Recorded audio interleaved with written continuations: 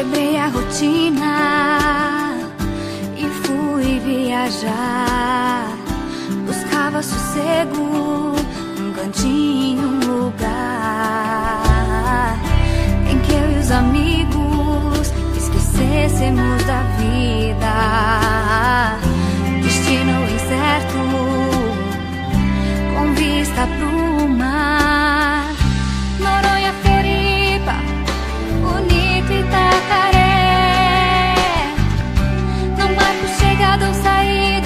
bicho solto na maré.